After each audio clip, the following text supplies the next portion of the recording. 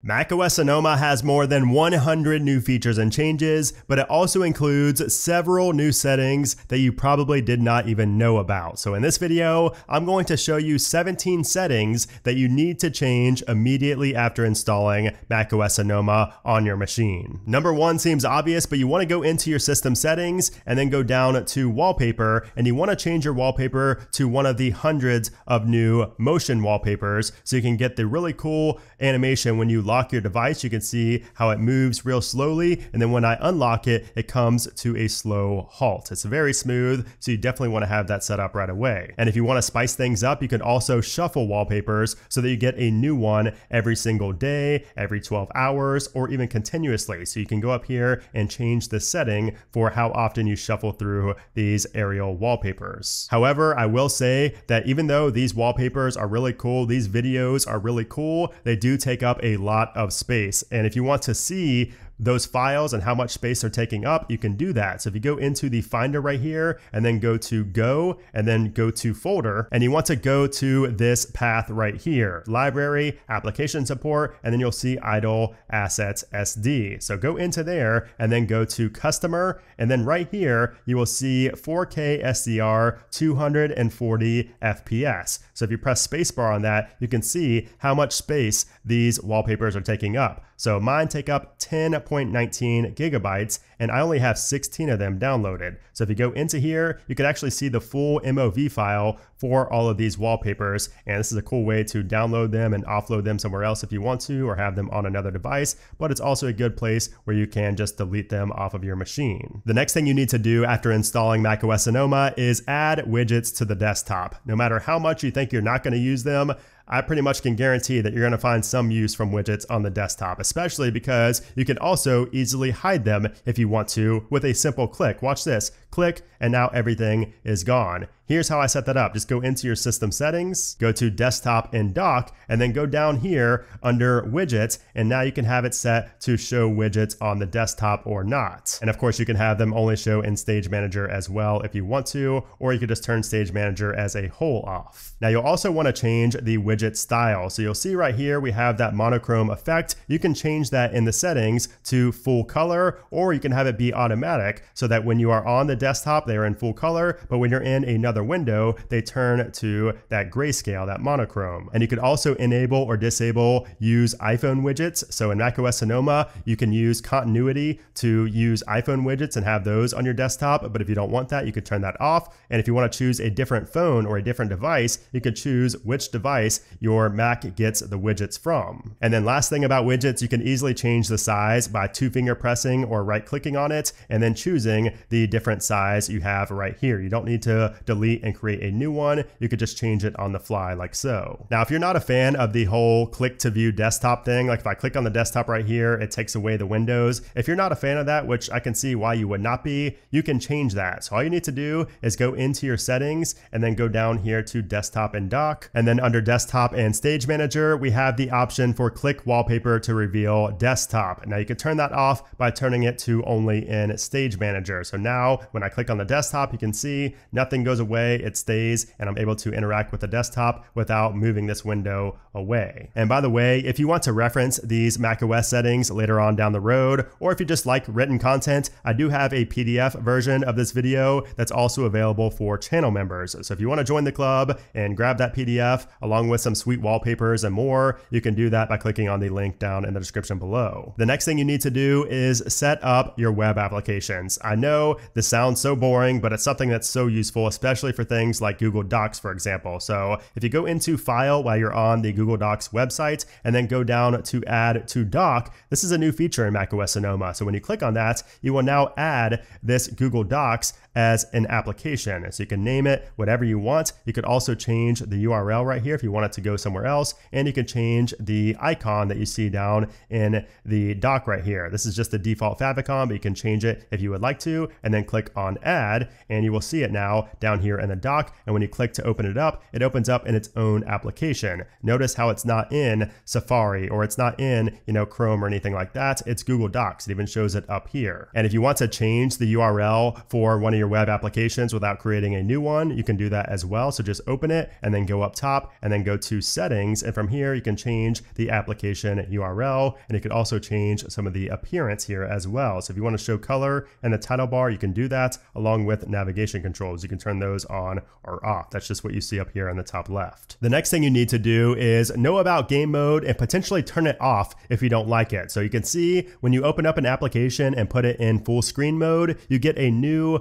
option up top that says game mode on. And what this does is it prioritizes the performance of the game when you're in full screen. So if you want to turn this off, you can simply just go out of the full screen. So if we go right here and click on the green icon, you will notice that it is now off. So if we go to the game controller icon up in the status bar, it shows where we can turn game mode off. And if you press on that, it will turn it off and you can turn it back on like so, but it will only work when you're in full screen mode. But that is how you can turn game mode off if you don't like it. And then speaking of gaming, if you use a mouse, you can now disable pointer acceleration. So you can do this by going into your settings and then down to mouse and then to advanced. And from there, you will see pointer acceleration where you can turn this off. And this is really good for gaming because you don't have any restriction on your cursor speed. So you could do this with a terminal code in the past, but that's no longer needed because it's now a built-in feature. Next up, if you have AirPods, you need to enable auto switching again because I don't know about you guys, but auto switching from an iPhone to a Mac or really any other device to a Mac has been terrible. But now with macOS Sonoma, it's finally good. So if you go into your Bluetooth settings and go to your AirPods, I have my AirPods Pro 2 right here, make sure connect to this Mac is set to automatically because mine for a long time was set to when last connected to this Mac just because I wanted to avoid my AirPods automatically trying to connect to my Mac. And it was always finicky, but now it's good again.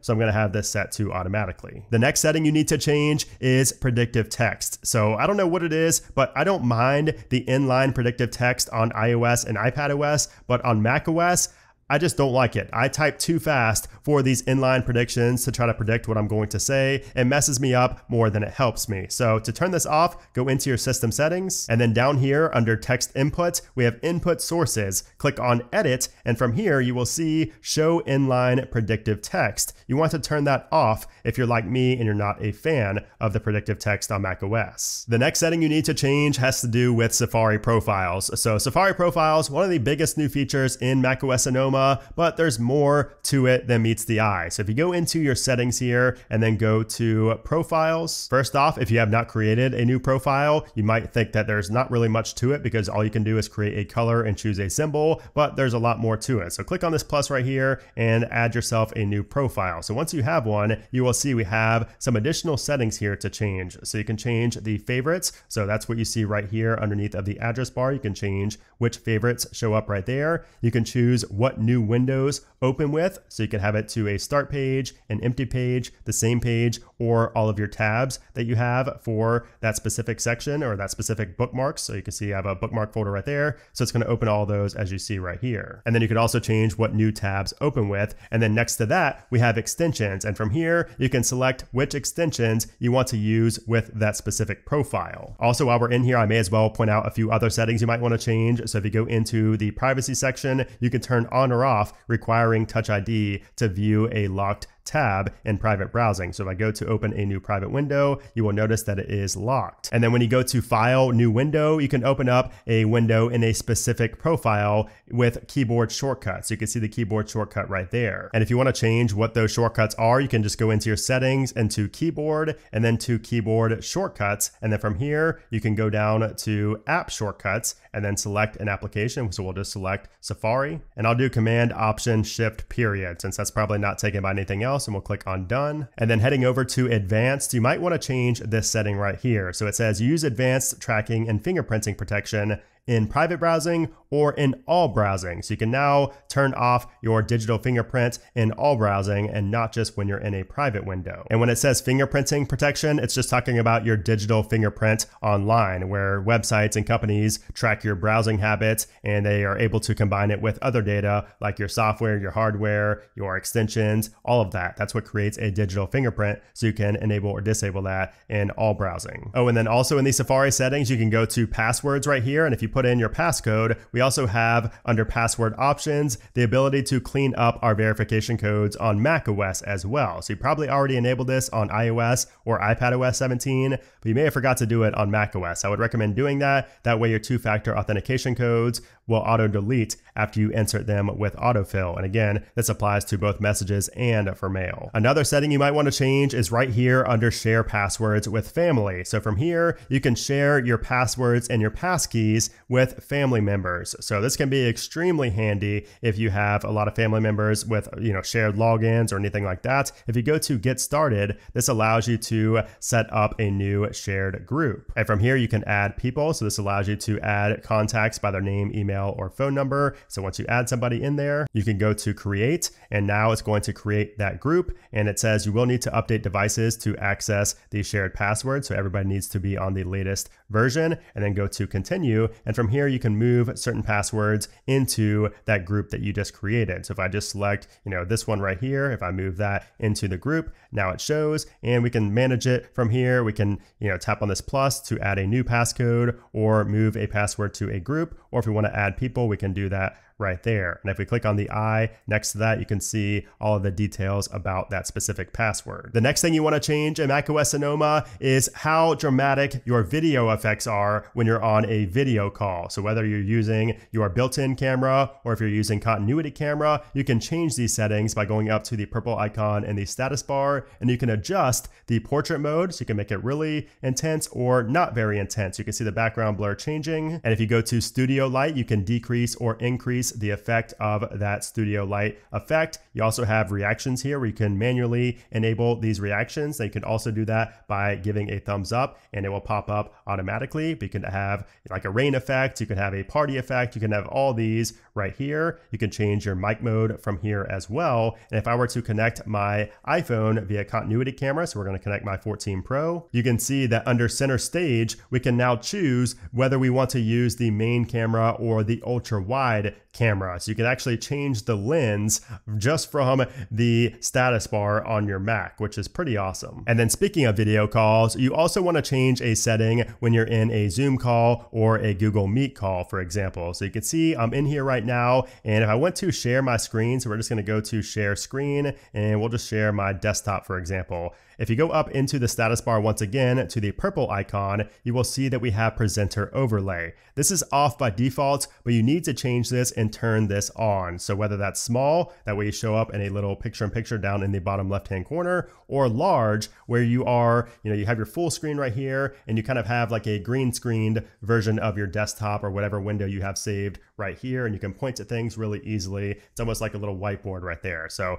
that is really cool. Definitely something to change presenter overlay when you're in a video call. The next thing you want to change is Hey S. So if you go into your settings into Siri and Spotlight, right up top we have a listen for option. And from here, you can choose between just saying S or Hey S, or you can just turn this off completely. So this is a setting you want to change based on your experience. I personally like just saying Siri, and that's it. I've found that there's not very many false triggers, so it works for me, especially on the Mac. And then the final setting you need to change in macOS Sonoma is inside of the settings, and then down to keyboard, and then dictation. If you had this turned off before, you need to turn it on because it's gotten much better with macOS Sonoma. So let me show you what I mean. If I press on dictation, I can start saying what I'm going to say, and if I start typing in the middle of that, you'll notice how it doesn't register what I'm saying because I'm typing. Now, if I stop typing, typing and I start talking again, it picks back up where I left off. So this is awesome and you can press on the microphone button again to end the dictation just like so. And also in settings, you can change what the shortcut is for dictation. So if you want to change it to something else, you could do that right here, or you can customize it to a specific key. Also down here, you can turn off auto punctuation. So if you don't want the periods and the commas going in there, if you'd like to say that manually, you can do that there as well. So there you have it. Those are the first settings that you need to change in macOS Sonoma. Now, if you want to see more than 100 new features and changes in the updates, I did make a very extensive video on that as well. That is linked up in the cards in the top right and also down in the description below. And if you want to get access to a PDF version of this video, along with other perks, you could check out that in the link down in the description below as well. But if you guys enjoyed this video, I would appreciate if you give it a thumbs up. Also, make sure to subscribe for more macOS, iOS, and iPadOS videos in the very near future. But anyways, guys, thanks again for watching, and I'll see you soon.